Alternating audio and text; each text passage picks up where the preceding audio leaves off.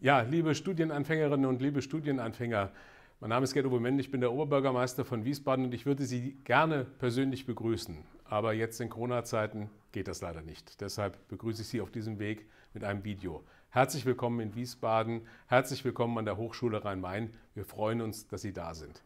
Wir sind auf unsere Hochschule unglaublich stolz und wir sind stolz auf Sie, die jetzt diese Hochschule erweitern mit neuen Gesichtern. Ähm, die Hochschule hat vor etwas mehr als fünf Jahren gerade mal 8000 Studierende gehabt. Inzwischen sind es 14.000. Wir haben 70, über 70 äh, wirklich hochinteressante moderne Studiengänge. Wir haben eine hoch engagierte Lehrkörper, hoch engagierte Lehrkräfte, Professorinnen und Professoren, die vor allen Dingen auch die Interessen der Studierenden im Blick haben.